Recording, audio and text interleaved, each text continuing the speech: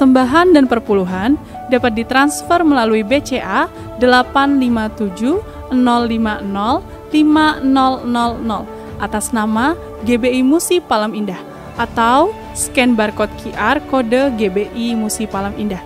Tuhan Yesus memberkati.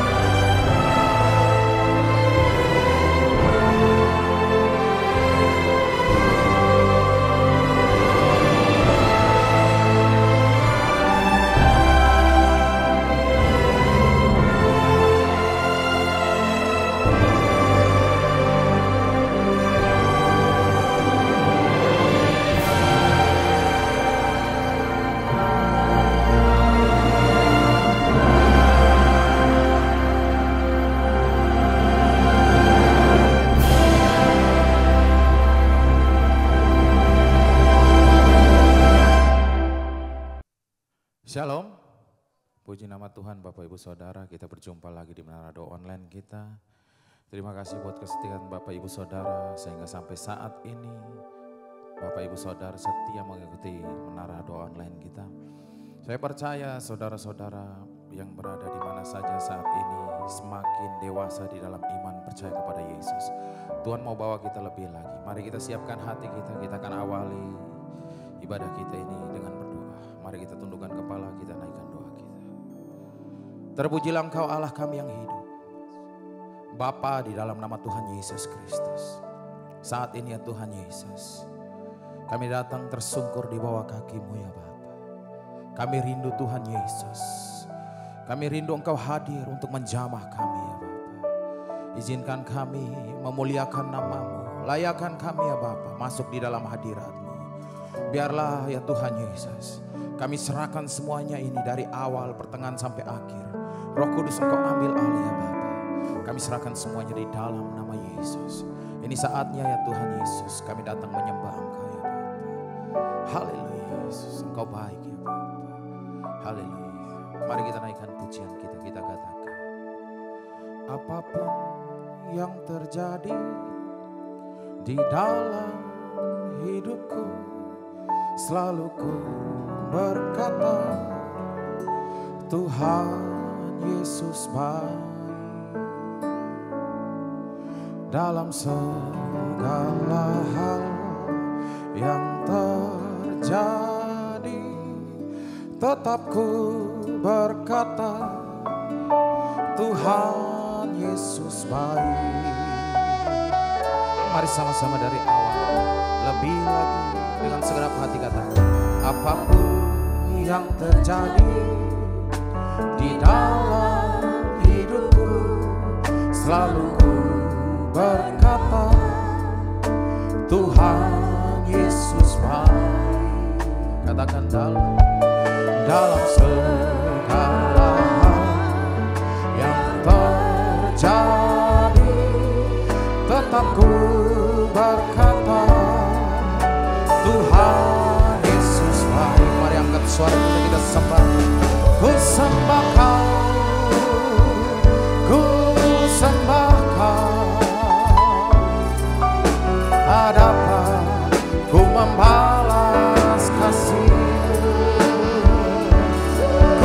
sembah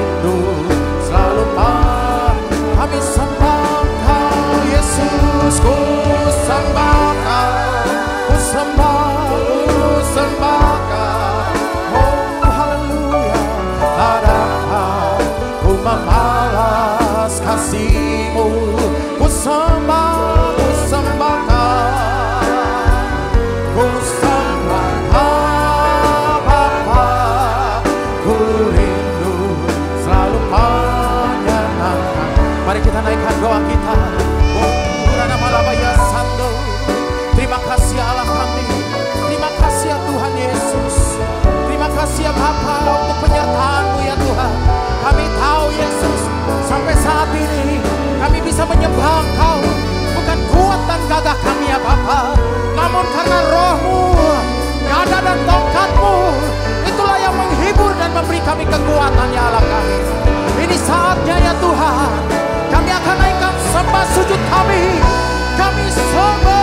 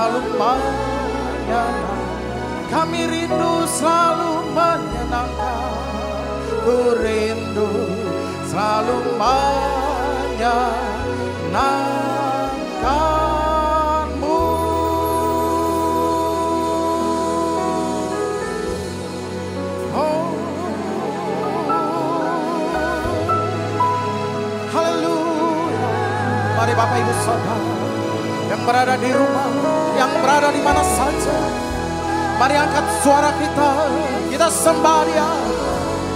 Karena tak dapat kita balas kasihnya. Hanya pujian dan penyembahan yang bisa kita naikkan. Biarlah berkenan dan menjadi dupa yang berbau harum di hadapannya. Oh, haleluya. Haleluya. Kami tahu. Mama, call me.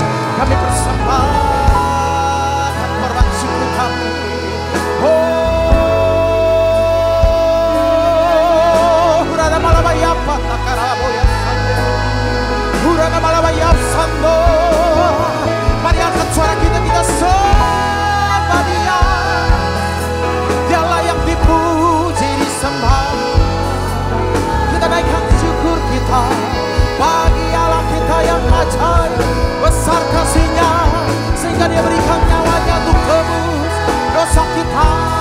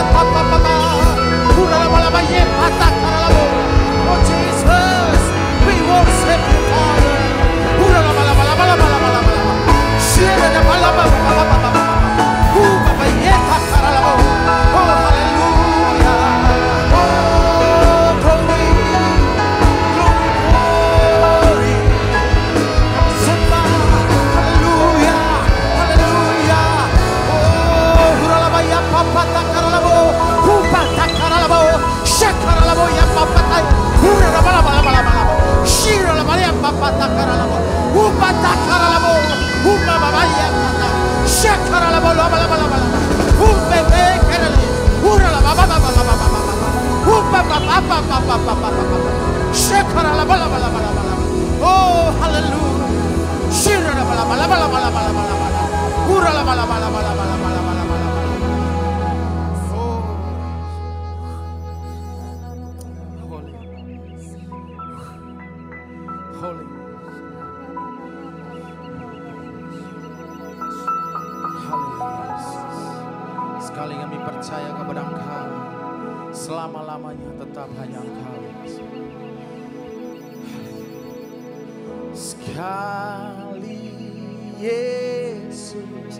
selamanya Yesus harapanku takkan hilang. Yes, karena kasihnya sekarang ku ada. Oh Yesusku ku cintakan selamanya sekali Yesus.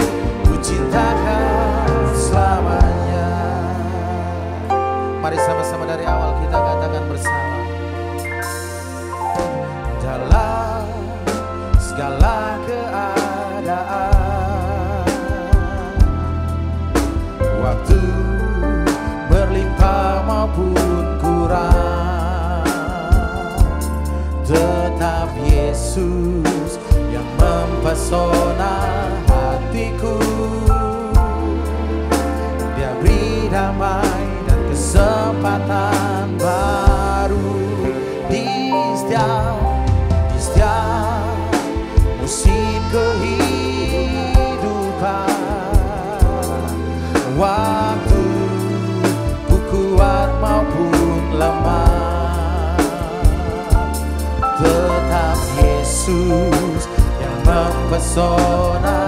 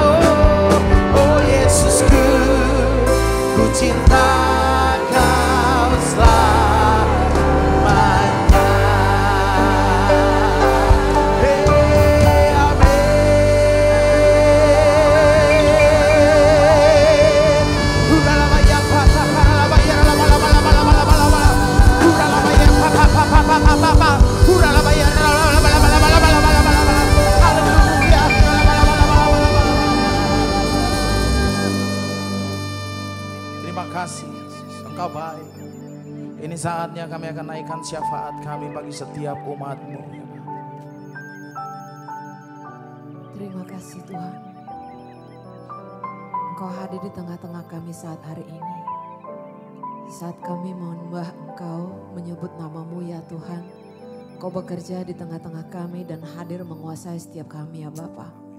Dan saat hari yang indah ini ya Tuhan Yesus, bila lawatanmu yang kami rasakan yang akan membaharui kehidupan kami, membaharui keadaan kami hari demi hari, membaharui pengharapan kami hari demi hari, iman kami semakin bertumbuh di dalam Engkau ya Tuhan dan kami percaya saat ini ya Tuhan, kuasa darahmu sedang bekerja di tempat ini, di tengah-tengah kami, sedang membaharui kami, memulihkan kami, membebaskan kami, memberikan kami kelegaan ya Bapa. Dan kami juga percaya Bapa bahwa kuasa yang sama sedang bekerja untuk seluruh jemaat Tuhan yang saat ini membutuhkan jawaban doa daripadamu ya Tuhan. Kuasa darahmu sedang bekerja untuk anak cucu Ibu Miliana ya Tuhan Yesus yang memelihara kehidupan mereka ya Papa di dalam kuasa darahmu juga ya Tuhan. Dan kuasa darahmu juga yang bekerja untuk Ibu Riris Marito ya Bapa Untuk pengobatan pasca operasinya biarlah Tuhan yang bekerja mempercepat kesembuhan dan pemulihannya. Sehingga hambamu ini tetap sehat, kuat di dalam engkau ya Tuhan Yesus. Terima kasih ya Tuhan, kasih dan anugerahmu bekerja untuk Ibu Sianeke ya Tuhan Yesus. Biarlah Tuhan yang memberkati usaha hambamu ini berhasil, beruntung ya Tuhan Yesus. Dan kami juga ya Tuhan berdoa untuk Ibu Lamria, Ibu Nanik ya Tuhan. Tuhan bekerjalah dalam kehidupan hamba-hambamu ini. Dalam setiap pergumulan doa hambamu. Biarlah engkau, biarlah kuasamu yang dinyatakan ya Tuhan. Yang memberikan mereka terobosan demi kerobosan. Yang mempertemukan mereka dengan golden connection. Waktu yang tepat dengan orang-orang yang tepat ya Tuhan.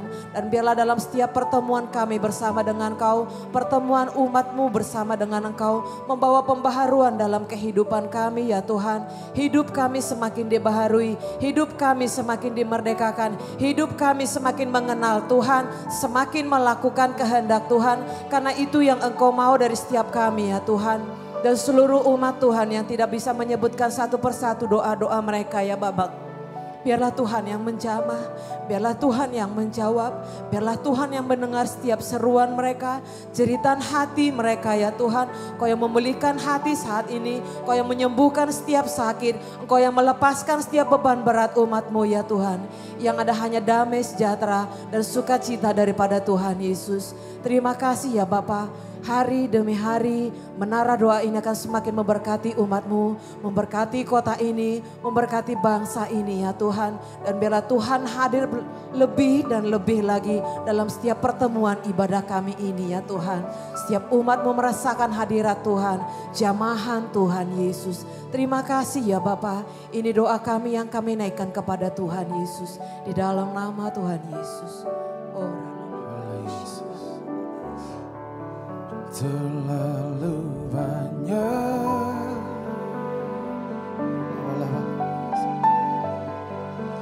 Yang Tuhan telah beri. Takkan mungkin ku balas dari apa yang ku kami persembahkan, ku persembahkan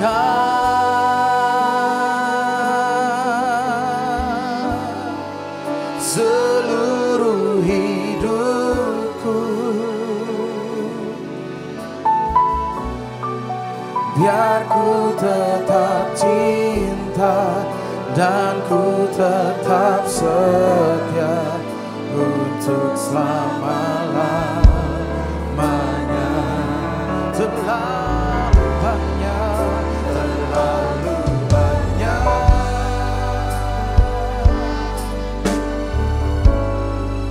Yang Tuhan telah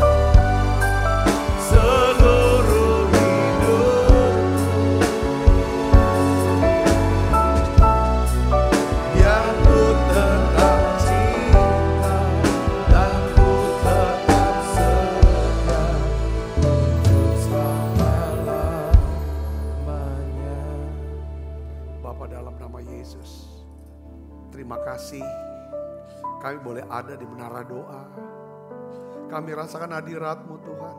Kami rindu Tuhan. Kami mengasihi Tuhan. Kami selalu mencari Tuhan. Tuhan jiwa kami haus akan Tuhan. Makasih Tuhan untuk berkatmu. Terima kasih untuk segala kebaikan. Hari ini aku berdoa ya Bapak untuk anak-anakmu yang ada di menara doa ini. Bahwa kami makin kenal Tuhan. Bahwa kami makin percaya kepada Tuhan. Tuhan aku berdoa Tuhan. Biarlah ya Tuhan kau berikan satu pengurapan yang khusus. Engkau berikan ya Tuhan kuasamu buat kami. Tuhan aku berdoa dalam nama Yesus. Tuhan kau pakai setiap kami. Biar segala yang terjadi dalam hidup kami. Apa pun yang terjadi dalam hidup kami. Yang hari-hari ini kami sedang hadapi dan lewati Tuhan. Baik itu kesulitan-kesulitan. Kesakitan-kesakitan. Kegagalan-kegagalan, kejatuhan. Bahkan ya Tuhan sebuah kehancuran. Aku berdoa ya Bapa dalam nama Yesus. Beri kami roh ketekunan itu. Beri kami ketekunan ya Tuhan. Untuk tetap cinta. Tetap setia kepada Tuhan Yesus. Terima kasih Tuhan, terima kasih. Aku berdoa semua yang sakit Tuhan sembuhkan. Yang lemah Tuhan kuatkan. Bahkan yang susah Tuhan hiburkan. Terima kasih Tuhan, terima kasih. Biarlah ya Tuhan kami berdoa untuk situasi keadaan saat ini ya Tuhan. Biarlah Tuhan kau berikan ya Tuhan damaimu ya Tuhan. Damaimu ya Tuhan di kota kami. Damai atas Indonesia. Damai untuk Yerusalem ya Tuhan. Terima kasih damai untuk Israel. Damai untuk bangsa-bangsa ya Bapak. Terima kasih Tuhan, terima kasih. Urapi hambamu untuk dapat menyampaikan pesan firmanmu. Dengan bahasa yang sederhana dan mudah dimengerti. Dalam nama Yesus. Semua kita yang siap menerima firman hati gembira. Sama-sama katakan amin. Tangan yang meriah saudara. Silakan kembali ibu bapak. Shalom saudara. Puji Tuhan kita boleh berkumpul lagi. Ya kita boleh sama-sama ketemu.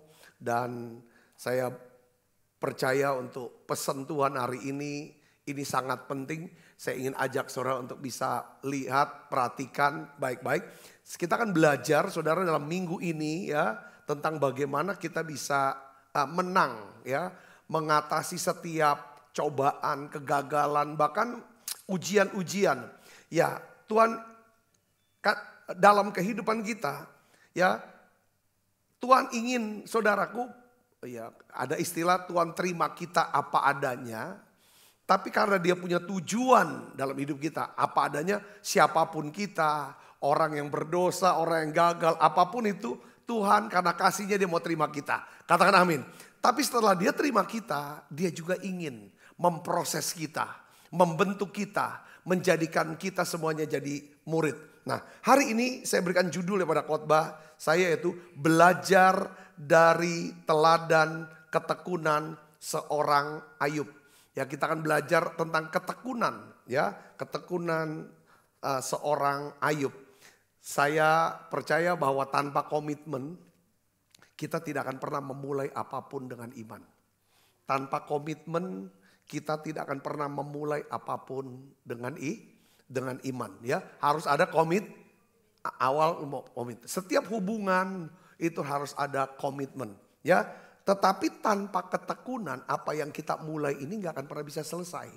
Ya, diperlukan adanya namanya kete, ketekunan. Tanpa ketekunan tidak akan pernah mencapai garis garis air. Nah, soal ketekunan ini kita akan belajar dari Ayub, saudara dari Ayub.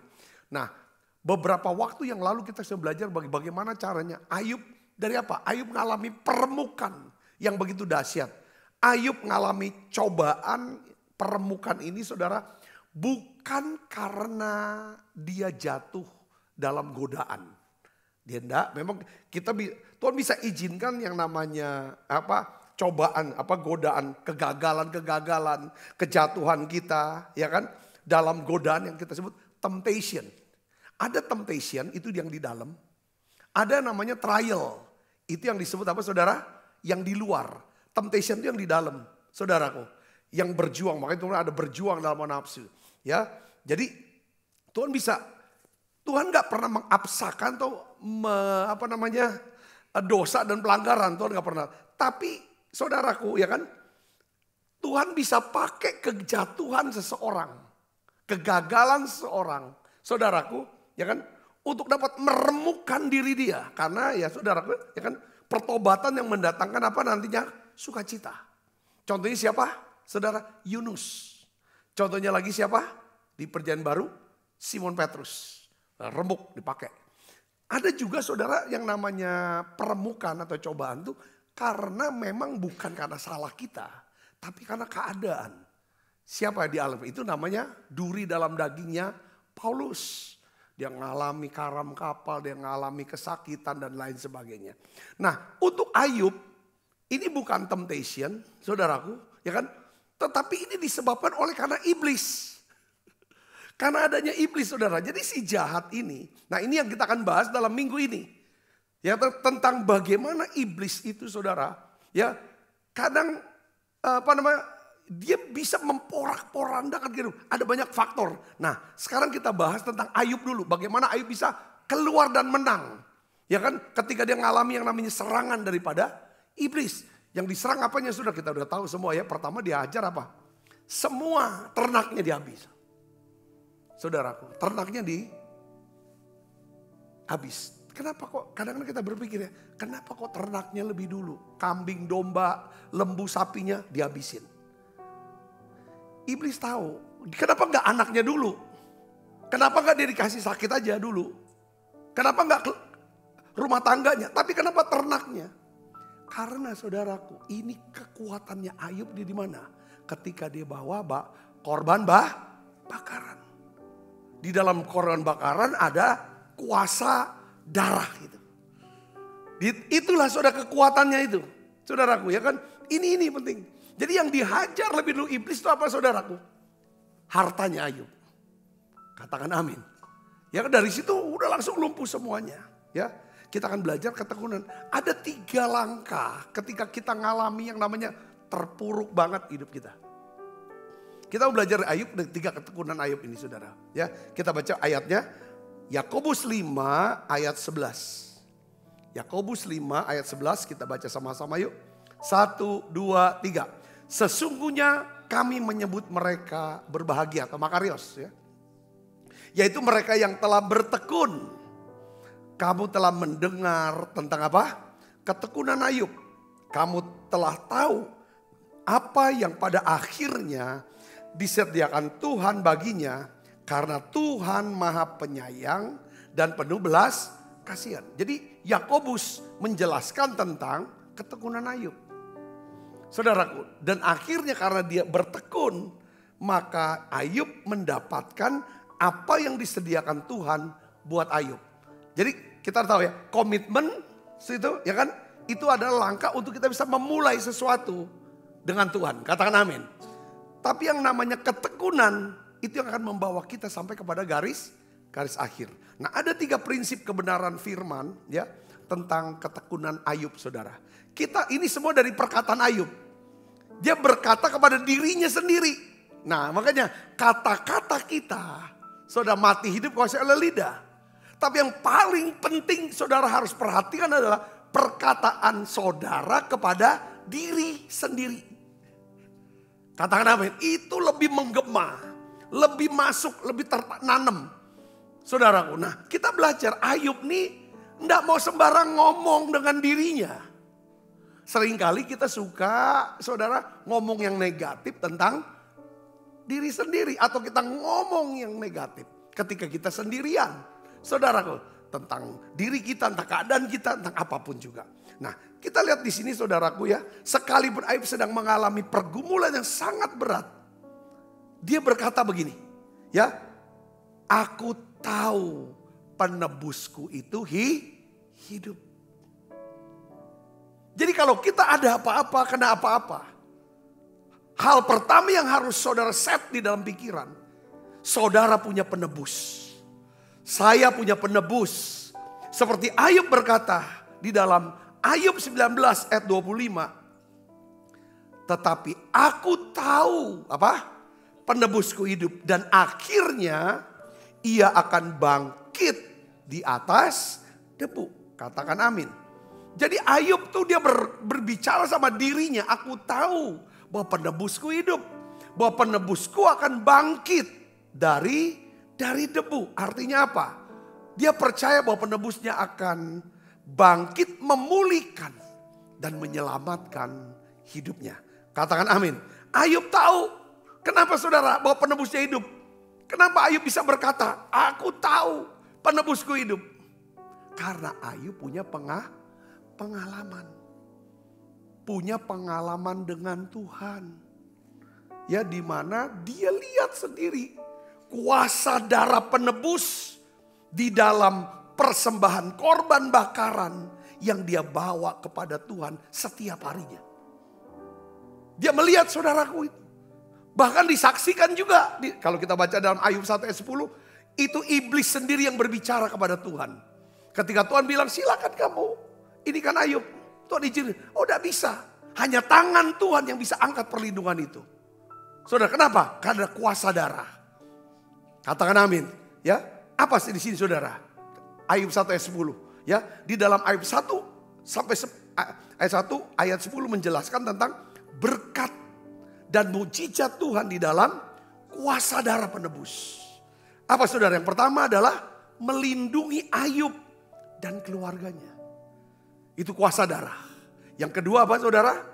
Apa yang dikerjakan Ayub diberkati oleh Tuhan.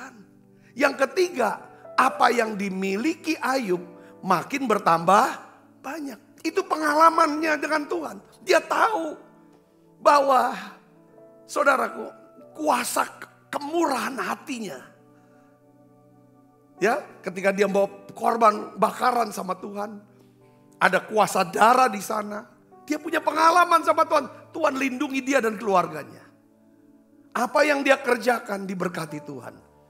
Apa yang dimiliki bertambah banyak. Ketika dia habis semua yang dia punya. Awal kata-kata yang keluar dari mulut dia adalah apa saudara? Ya kan? Aku lahir telanjang, aku balik telanjang. Terpujilah nama Tuhan. Tuhan yang mengambil, Tuhan yang memberi, Tuhan yang mengambil. Terpujilah nama Tuhan. Saudara bisa di sini katakan amin. Jadi sini Ayub kenal penebusnya. Jadi uh, saudara kita ini jangan alergi ya ketika ngalami yang namanya apa? Kesulitan. Kesulitan bisa dari tiga ya. Karena temptation, kita gagal. Yang kedua karena trial. Yang saudara, kita susah. Bukan karena salah kita. Tapi ketiga kadang-kadang ada peran iblis. Bukan salah kita, bukan salah orang. Tetapi kok bisa seperti ayahnya Ayub. Saya mau bicara satu hal begini. Sepanjang kita jadi orang Kristen, tetap kita mau belajar untuk apa saudara? Tetap cinta, tetap setia. Ini namanya tekun. Ayub menolak untuk menyerah. Ayub menolak untuk kecewa. Dia ambil keputusan untuk bertekun. Menantikan pertolongan Tuhan dalam hidup dia. Katakan amin. Memang waktu kita dicobai sudah lagi sedang ada masalah. Lagi sedang jatuh. Lagi sedang nggak tahu. Pasti ada pikiran-pikiran. Suara-suara saudara. Yang mengintimidasi dalam pikiran kita. Suara itu perkataan itu mengintimidasi, membingungkan, mengacaukan, membuat kita jadi putus asa. Saya ingin nasihati kita semua. Yaitu apa? Ketika pikiran ini kacau, coba saudara mulai berdoa. Saudara mulai berkata-kata, Tuhan urapi aku, penuhi aku dengan roh kudusmu. Setelah saudara agak tenang, saudara mulai berkata, aku tahu penebusku hidup. Dia akan bangkit untuk memulihkan aku, menolong aku, menyembuhkan aku, memulihkan hidupku. Yang percaya katakan amin. Ya.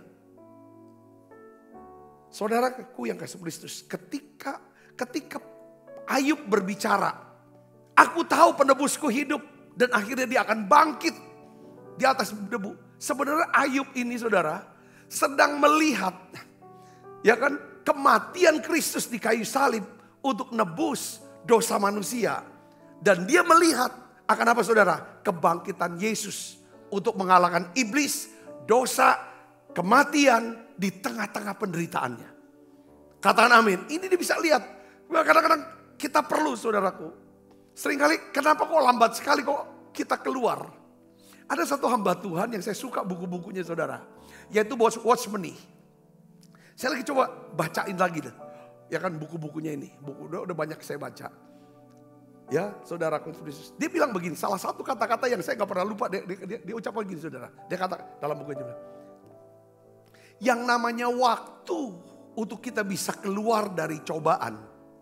Ya gak bisa dipercepat. Tapi kita bisa memperlambat selesainya masalah itu. Kita nggak bisa mempercepat selesainya masalah, tetapi kita bisa hanya bisa memperlambat. Saya bisa ngerti, katakan amin. Nah waktu kita ngalami yang namanya Israel banyak, padang gurun lah, api, pencobaan lah segala macam. Saudaraku, memang memang di sana kita nggak bisa rasakan hadirat. Wah, lalu lega. Di sini pentingnya apa? Firman Tuhan. Firman Tuhan. Makanya Yesus waktu di padang gurun, saudaraku, ya kan? Dia ucapkan ada tertulis. Ada tertulis. Seberapa banyak, seberapa besar pengertian kita, pewahyuan kita akan firman Tuhan. Seberapa kita kenal penebus kita namanya Yesus. Maka kita bisa selesai tepat pada waktu Tuhan untuk mau lepaskan kita. Katakan amin. Kata apa namanya? Ada satu ibu ya, saudaraku. Eh, hamba Tuhan saya cukup tua, dia juga penulis, pengkhotbah. Saudaraku. Dia bilang begini, masa penderitaan Ayub tuh kalau kita baca dari yang pasal 1 sampai pasal 42. Itu lamanya bukan 42 tahun, cuman setahun. Nggak lama dia. Jadi Wasmini bilang gini, ya kan? Apa yang membuat kita bisa tepat pada waktunya? Pada waktu kita ngerti, kenal akan firman Tuhan, penebus kita. Yang kedua, gimana kita memperlambat? Ya kita memperlambat karena kita tidak mau bertobat. Enggak mau bukain terang, enggak mau nerima terang, terang firman Tuhan. Kita punya kebenaran kita sendiri. Ini yang berlambat. Ayub pada waktu dia saudara mengalami masalah yang cukup besar dalam hidup dia. Dia bisa melihat, dia bilang aku kenal penebusku itu. Dia sedang melihat kematian dan kebangkitan Yesus.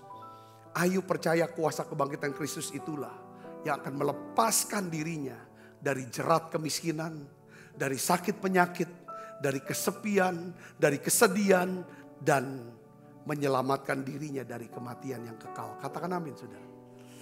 Ini ini harus ditumbuhkan bukan sebagai hanya teori, tapi coba saudara praktekkan dalam hidup saudara. Aku tahu pada penebusku. Yang kedua, saudaraku, kita belajar dari ketekunan Ayub apa apa perkataan Ayub kepada dirinya, saudaraku. Ya kan? Ketika dia ngalami yang namanya kita pakai istilah padang gurun atau lembah kekelaman ini. Dia berkata apa? Saudara, aku tahu. Ya kan? Ayub tahu imannya sedang di diuji. Dia tahu ini imannya. Dia nggak nggak lihat, wah tuh Tuhan lagi marah sama aku. Tuhan benci sama aku. Karena aku begini begini. Enggak, dia lihat, dia berkata, coba baca. Ayub 23 ayat 10 sampai 12 kita baca sama-sama. 1 2 3. Karena ia tahu jalan hidupku. Seandainya ia menguji aku, aku akan timbul seperti emas. Kakiku tetap mengikuti jejaknya, aku menuruti jalannya dan tidak menyimpang. Perintah dari bibirnya tidak kulanggar, dalam sanubariku kusimpan ucapan mulutnya. Katakan amin. Jadi Ayub tahu bahwa imannya sedang diu, diuji. Kadang-kadang sering kali saudara untuk kenapa? Sebelum Tuhan percayakan kita perkara besar. Sebelum Tuhan ingin memberkati kita saudara. Ya kan? Dengan hal-hal yang besar. Sering kali Tuhan izinkan kita masuk ke dalam ujian iman. Yang namanya ujian selalu berisi dengan tekanan dan tolakan. Katakan amin. Ya setiap kali kita tahu ya kan, apa pun kalau diuji pasti ada tekanannya. Ada tolakannya. Apa tekanan tuh tuh kita bisa remukan nih yang yang nggak penting diremukan supaya bisa keluar saudara yang intinya roh kita bisa keluar sering yang Tuhan inginkan setiap peremukan-peremukan tujuan supaya apa supaya manusia lahiriah ini remuk kehendaknya yang keras pikiran-pikirannya yang enggak sesuai dengan firman di, bisa disingkirkan perasaan-perasaannya yang keras yang mudah marah itu bisa di diremukan. Supaya keluar apa? Rohnya. Katakan amin. Nah tadi sharing saudara sama salah satu pengerja. Pak Sabta kenapa ya ada orang Kristen nih saya udah layani pelepasan. Habis ini dia bisa bahasa roh. Penuh roh kudus berbahasa roh dia. Setelah dia bahasa roh, tapi dia juga kerasukan setan. Ini gimana pak? Saya bilang, setan Tuhan masuk ke kamar yang namanya roh. Ngerti saudara? Ya, kita manusia kan tidak roh, jiwa, tubuh. Jiwa jadi tubuh ini banyak banyak diatur oleh jiwa, jiwa kita, pikiran, perasaan, kehendak. Ya, yang kita sebut manusia lahiria sama manusia batinia. Jadi Tuhan Roh Kudus penuhi rohnya. Dia bisa bahasa roh, bahwa penuh Roh Kudus. Tetapi dia juga bisa kesetanan. Setan kamu. Jadi antara Tuhan sama setan kamarnya beda. Di dalam satu orang. Kenapa kok bisa beda Pak? Saudara, kan karena hidupnya itu banyak dikuasai oleh manusia lahir keinginan daging. Bencinya, dendamnya, kepahitannya itu kan kamar, tahta, topos, kesempatan buat iblis masuk. Saya bisa ngeri, katakan amin. Tapi Roma kalau bisa kita, dalam ini kita terima roh kudus. Itu kan terbuka aja masuk tuh. Orang sekarang penuh roh kudus. Nah poin yang saya mau ngomongin begini. Tuhan tuh ingin remukan manusia lahiriah kita. Supaya roh kita itu bisa berkuasa atas apa? Pikiran, perasaan, kehendak. Sehingga tubuh kita ya bisa memuliakan Tuhan. Katakan amin. Jadi supaya bisa selaras sering kali roh mau nyembah. Tapi tubuh maunya berbuat dosa terus, maunya jahat terus. Jadi akhirnya gagal lagi nyembah, gagal lagi ibadah. Ini mau buat baik. Saudaraku. Nah, oleh karena itu makanya Tuhan perlu lakukan apa? Perembukan. Lewat kegagalan, temptation, lewat trials. Seperti Ayub lewat ih, lewat iblis. Saya bisa ngeri, katakan amin. Dalam proses bertekunnya ini, Nanti akan ada hasil. Hasilnya apa saudaraku? Ayub berkata apa? Dulu aku kenal Tuhan dari apa kata? Kata orang. Ya kan apa kata orang. Tapi sekarang mataku sendiri dia bicara tentang bahwa rohnya itu udah bisa nembus ke mana manusia lahirnya dia. Dia sudah hidup dituntun oleh roh. Dia kenal Tuhannya. Katakan amin. Yang keluar tuh apa saudaraku? Ya belas kasihannya tuh roh. Roh belas kasihan. Bukan perasaan belas kasihan lagi. Bukan jiwa ya. Ya. Murah hati. Bukan mainin perasaan. Kalau main di perasaan dia bagus masuk perasaan. Tetapi orang yang murah hatinya cuma perasaan doang, jiwa doang. Nggak sampai ke roh. Kalau orang yang kita udah buat baik. Dia tidak ikuti kehendak kita, keinginan kita bahkan dia berbuat jahat sama kita, itu dendamnya kesumat. Tapi kalau roh yang kerja, yang gerakan untuk kita murah hati, belas kasihan, sehingga kita bisa tolong orang ini. Ketika orang ini mengkhianati kita, enggak terlalu sakit. Karena memang yang namanya manusia lahir sudah diremukan, kata nama saudara. Amin saudara. Ketemu orang sombong. Kalau manusia kein daging kita ini manusia lahir yang udah diremukkan. Kita tuh gak kepancing untuk lebih sombong dari dia. Seringkali kalau kita ketemu orang sombong, kita tuh kesenggol nih, kita kan sombong banget sih orang ini. Betul lah saudara? Nah itu tanda.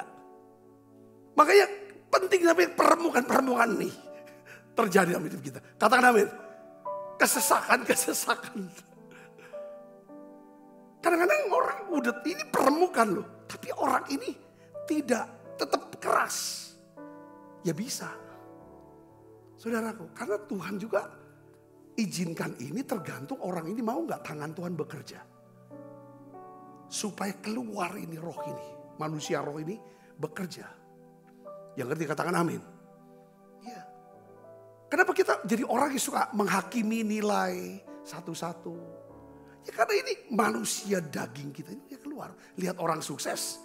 Seolah secara rohaninya kita bilang, rendah hati ya kamu ya, harus rendah hati. Pernah kita ngerasa kayak gitu, kalau ada orang lebih dari kita, kita nasihatnya supaya dia rendah hati. Ngerti gak? Itu karena kita kayak ada keberatan gitu loh. Dia kita menunjukkan bahwa oke okay, aku kalah di sini tapi aku lebih rohani dari kamu. Nah hal-hal yang seperti ini yang kita perlu ada. Saudara bisa dapetin gak poin di sini?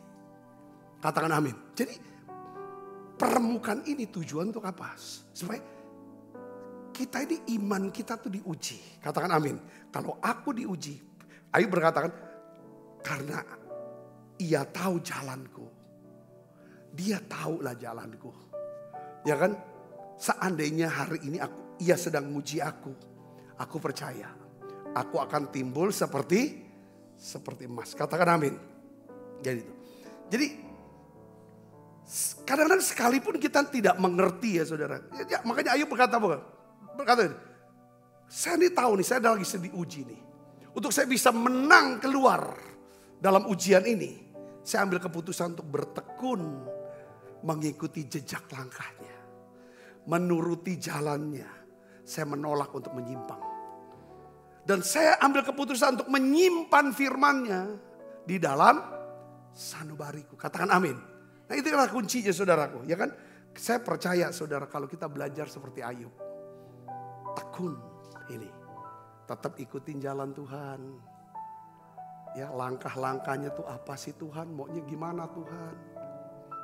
Ya simpen terus firmannya. Saya yakin ya kita akan tetap percaya, kita tetap bertekun, kita tetap mau lihat dari sudut pandang Tuhan, kita nggak akan pernah menjadi orang yang apa? Saudara, pahit, kecewa, sinis, egois, dan keras ketika kita menghadapi apa? Penderitaan. Katakan amin. Yang ketiga, saudara, ini yang kita belajar. Yang ketiga adalah Ayub tahu. Apa saudara? Bahwa Allah sanggup melakukan segala sesuatu.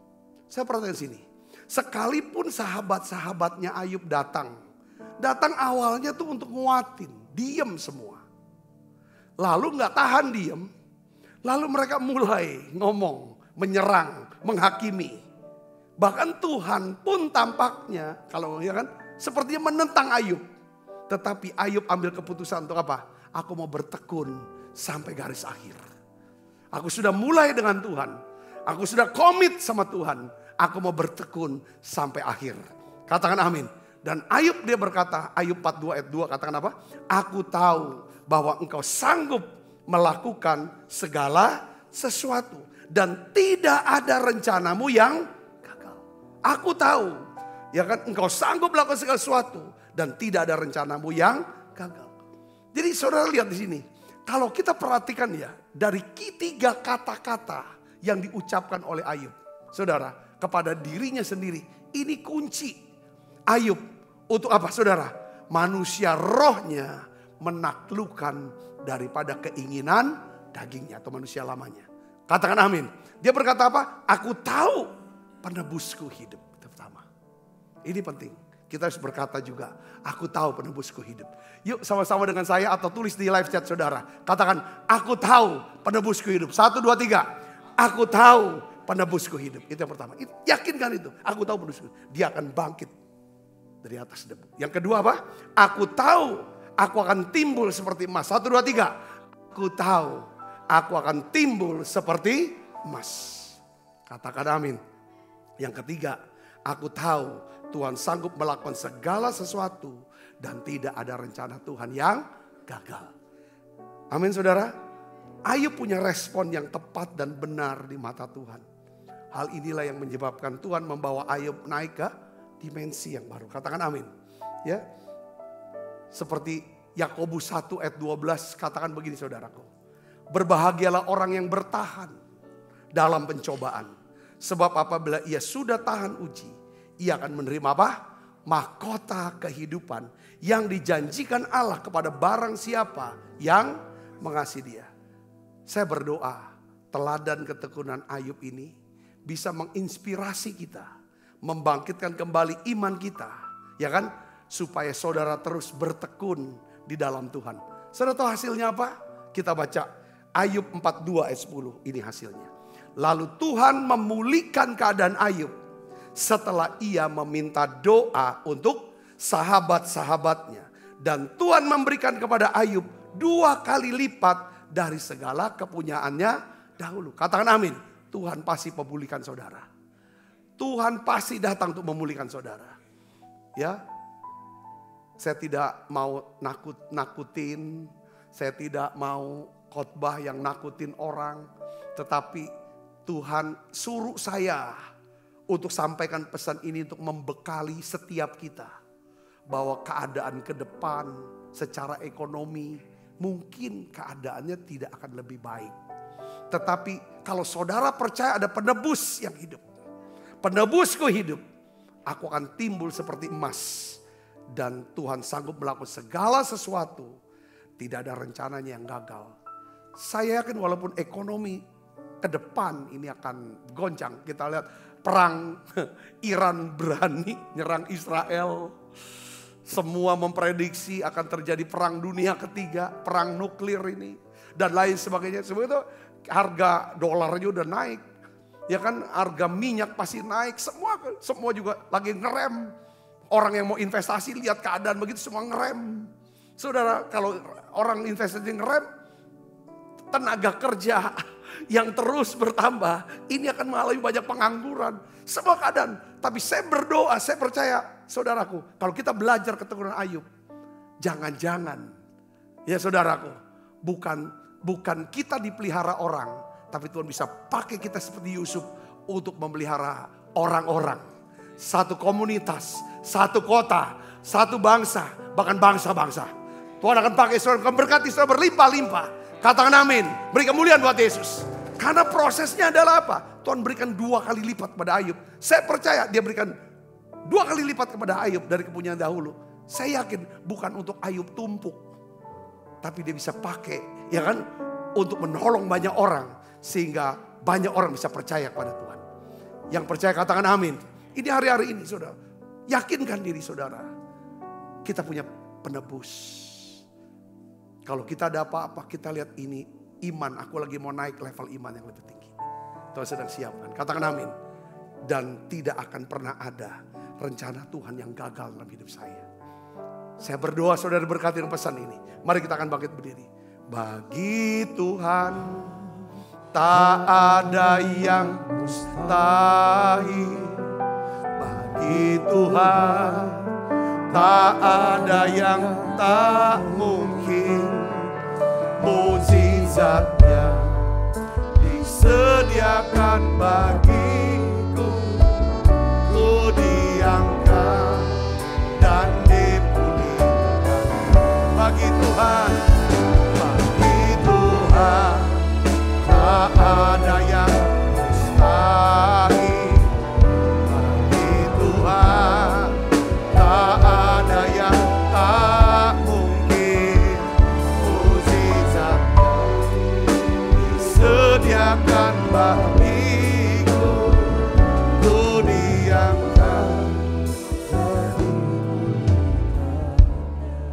Tuhan terima kasih. Kalau ada anak-anakmu yang sedang mengalami ya Tuhan proses. Berada gelembah kekelaman. Hari ini Tuhan seperti halnya Ayub. Kami mau belajar ya Tuhan dari ketekunan Ayub Tuhan. Aku berdoa Tuhan biarlah kami bisa kenal bahwa penebus kami akan bangkit. Penebus kami bangkit. Penebus kami bangkit. Terima kasih Tuhan. Biarlah ya Tuhan kami bisa tahu bahwa kalau Tuhan menguji kami, dia aku tahu Tuhan tahu jalan hidupku. Kalau Tuhan uji kami, kami akan keluar seperti emas. Tuhan, tidak ada satupun rencanamu yang gagal. Tidak ada pun satupun rencanamu yang gagal dalam hidup kami. Kami bisa gagal, kami bisa salah, kami bisa jatuh. Tapi rencanamu dalam hidup anak-anakmu ini tidak pernah gagal. Hari ini ya Tuhan kami berdoa. Ampuni dosa dan salah kami Tuhan.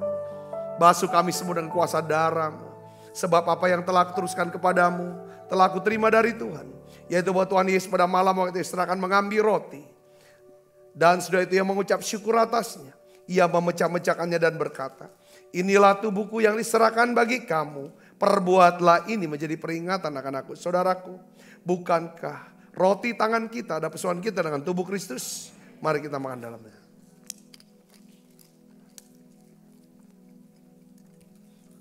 Angkat cawan. Demikian juga mengambil cawan sudah makan berkata, cawan ini perjanjian baru yang dimeteraikan oleh darahku Perbuatlah ini setiap kali kamu meminumnya menjadi peringatan akan aku. Saudaraku, bukankah cawan perjanjian ini yang atasnya kita ucapkan syukur ada persoalan kita dengan darah Kristus. Mari minum dalam namus.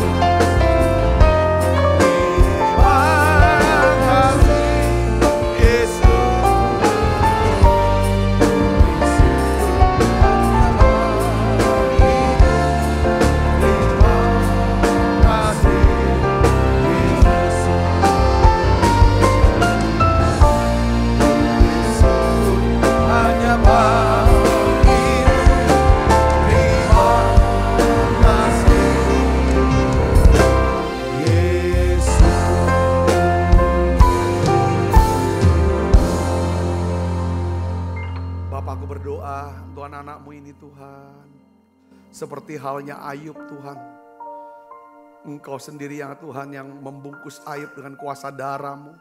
Sehingga ya Tuhan, Ayub ya Tuhan dan keluarganya dijaga, dilindungi.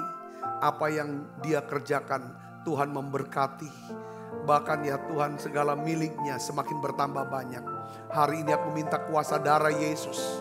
Ya Tuhan yang lebih berkuasa daripada darah binatang. Ya Tuhan membungkus setiap kami Ya Tuhan, biarlah Tuhan apa pun yang dikerjakan anak-anakmu ini, Tuhan berkati dan buat berhasil. Kau lindungi mereka Tuhan. Pakai hidup kami semuanya Tuhan. Di masa-masa ya Tuhan, eh, lembah kekelaman ini anak-anakmu. Biarlah ya Tuhan, kami belajar dari ketekunan Ayub. Terima kasih Tuhan, kekasih Kristus. Terimalah berkat yang berlimpah-limpah daripada Allah Bapa. Di dalam anak yang Tuhan Tuhan kita Yesus Kristus. Persoalan yang manis para roh kudus menyertai saudara semua mulai saat ini sampai Yesus datang menjemput kita mempermain dan sampai selama-lamanya. Semua kita yang percaya berkati sama-sama katakan amin. Tuhan berkati saudara semuanya.